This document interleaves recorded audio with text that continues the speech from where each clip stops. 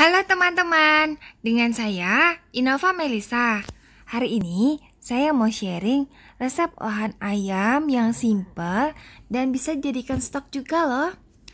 Pertama-tama filet ayam kita potong-potong ya, bentuk dadu. Terus kita haluskan. Bisa dihaluskan pakai chopper, pakai blender, dicincang langsung atau pakai ulekan juga bisa ya teman-teman. Link video caranya saya taruh di deskripsi video ini ya. Nah, kali ini saya pakai chopper. Jadi ngalusinnya tinggal gini aja. Chopper ini nggak mahal juga teman-teman. Kalau misalnya teman-teman lagi cari chopper, reviewnya ini juga ada. Linknya saya taruh juga di deskripsi video ini. Terus dia bisa untuk giling uh, adonan roti sekalian loh. Cuma ini kan ukurannya sedang aja ya, kurang lebih untuk sekali dua kali makan lah. Nah, padahal kali ini saya mau bikin stok, so saya ambil sebagian supaya nanti wortelnya bisa masuk ke dalam. Untuk bumbunya itu saya pakai tumisan dua bawang, ini saya stok, buatnya juga simple banget. Kalau teman-teman belum tahu, linknya juga ada di deskripsi video ini. Nah, kalau ini apa? Ini adalah bubuk teri nasi yang fungsinya menggantikan penyedap atau kaldu dan juga garam. Jadi kita pakai ini aja sudah oke. Okay. Tapi kalau mau tambahin kaldu atau garam atau cuma pakai kaldu atau garam aja juga nggak apa-apa. Terus saya tambahin telur, ini sebagian aja, sebagian lain dipakai belakangan. Terus dihalusin sampai wortelnya benar-benar halus ya teman-teman. Jadi nggak berbongkah-bongkah gitu. Nah, sebagian telur yang lain untuk apa? Itu digunakan untuk campuran juga. Tapi ditambahkan tapioka dulu, teman-teman. Tujuannya supaya nanti si adonan ini menyatu gitu. Kalau misalnya nggak ada tapiokanya, adonannya itu kurang menyatu dan rasanya kurang kenyal juga. Tapi kalau ada tapiokanya, itu akan lebih kenyal. Nah, semuanya ini saya aduk rata.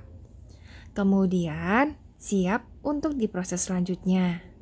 Kali ini saya gunakan kulit lumpia, terus adonan tadi saya taruh di dalamnya, terus saya gulung teman-teman. Nah supaya nggak lepas-lepas kanan kirinya itu saya kasih uh, adonan tadi teman-teman adonan tapioka sama telur tadi untuk menjadi perekatnya. Nah, sampai di sini ini bisa disimpan dan dijadikan stok kulkas atau langsung digoreng juga bisa teman-teman. Supaya aman nanti dipipihkan aja ya teman-teman supaya matangnya merata. Kalau gendut-gendut gitu, khawatirnya pas goreng itu kurang teliti sehingga dalamnya kurang matang. Tapi kalau pipih itu lebih aman. Jangan lupa dibalik supaya matangnya merata. Kalau misalnya nggak dibalik nanti bawahnya gosong, atasnya belum matang. nah, habis itu Sampai kecoklatan kayak gini, ini udah siap. Kalau udah kaku, itu tandanya udah matang. Kulit lumpianya juga udah renyah. Saatnya kita angkat dan kita tiriskan.